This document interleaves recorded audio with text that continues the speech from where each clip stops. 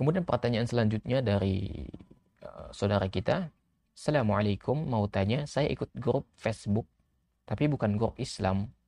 Setiap hari ada postingan tentang agama mereka. Apakah saya dosa? Sebaiknya antum keluar ya dari grup tersebut. Jangan sampai antum yang berkecimpung di dalam grup-grup tersebut. Kalaupun antum ya membantah misalnya, oh agama kamu ini begini, begini, begini, eh, ini perdebatan yang tidak ada panjangnya, debat kusir yang tidak ada batasnya. Bahkan mungkin akun antum akan diserang macam-macam ya. Antum disebut akan disebut sebagai penyusup ya, dan lainnya. Lebih baik antum keluar dari grup tersebut karena grup tersebut adalah grup yang berisi nilai-nilai kebatilan ya. Dan antum bisa saja terkena syubhat, kemudian antum bisa saja murtad. Itu bisa saja. Ya.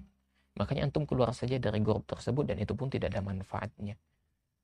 Cuman pertanyaan Ana, ngapain antum masuk ke dalam grup tersebut gitu kan? Gak ada manfaatnya. Lebih baik antum keluar saja dari grup tersebut. Wallahu alam bisawab.